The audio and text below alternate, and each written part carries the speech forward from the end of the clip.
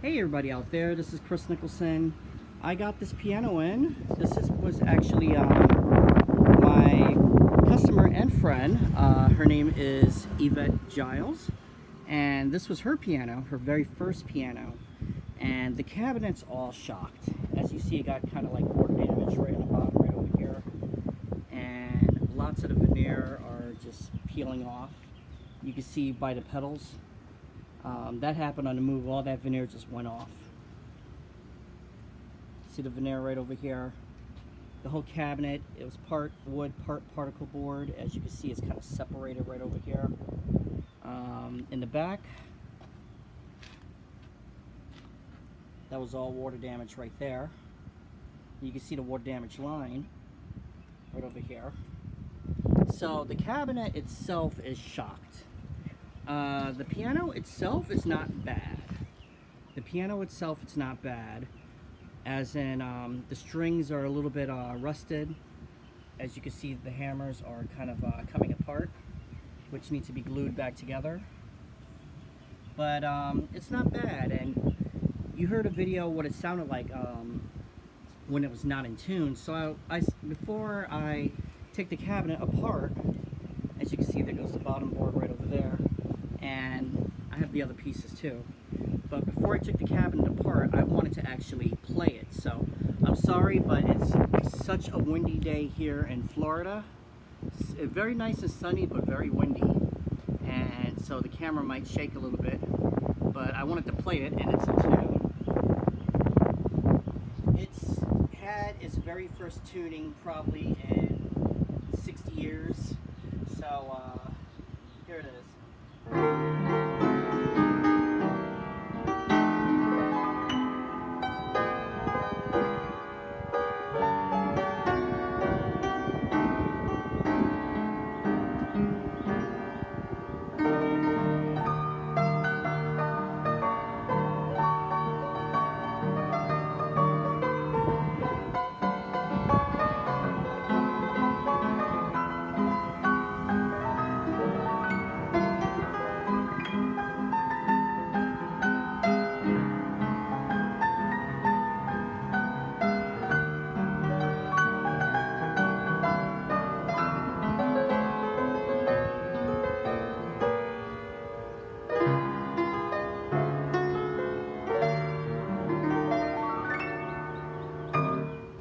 It's not a bad sounding piano if it was fully, fully in tune. Um, so I was just gonna actually just, I'm still gonna take the cabinet off, all the, the whole cabinet, but this part and the rest of the insides, I'm thinking about rebuilding a new cabinet, or or better yet, just um, use it, you know, just basically as kind of like another project piano.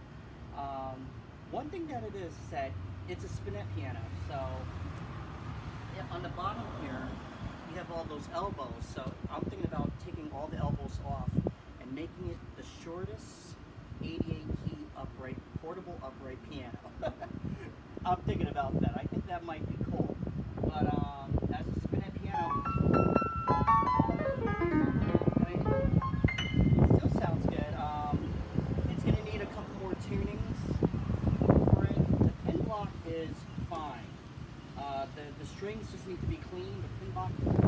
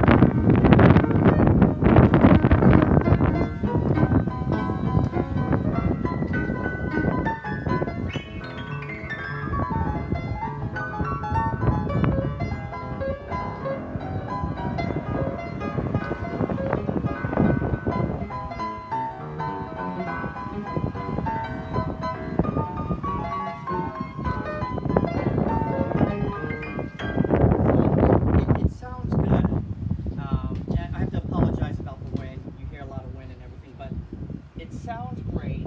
Um, it has potential. It has a lot, a lot of potential. And um, so I want to take the whole keyboard off before I knock the cabinet off and everything because I want to save um, the pin, I should say, I want to save the uh, key bed and all of the bushings and, you know, all the punchings that are on here. And also, um, just get the actual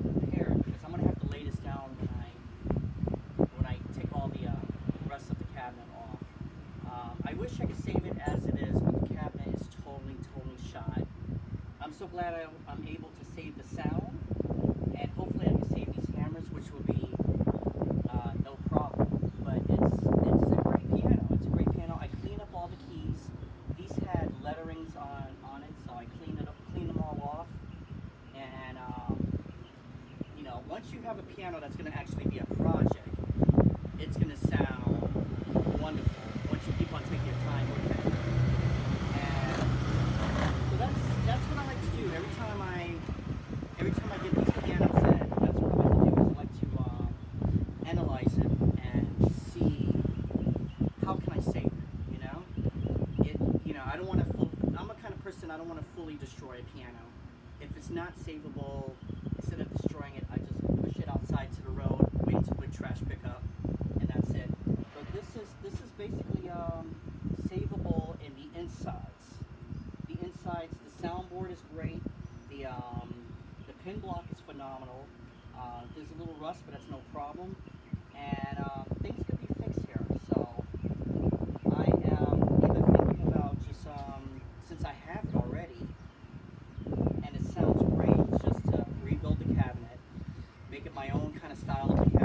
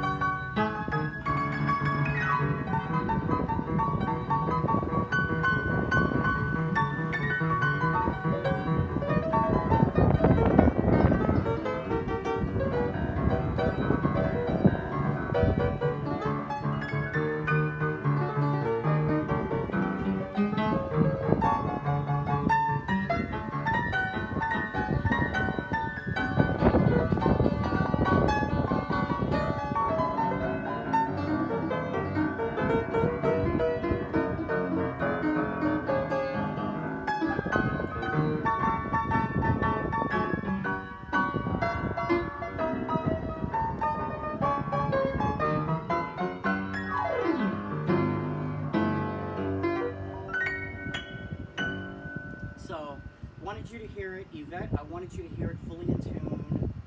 Uh, there's potential with this piano. All right, everybody, do me a favor. Click like, subscribe, follow me on everything. Thank you so much for watching. I'll see you guys later. Bye-bye.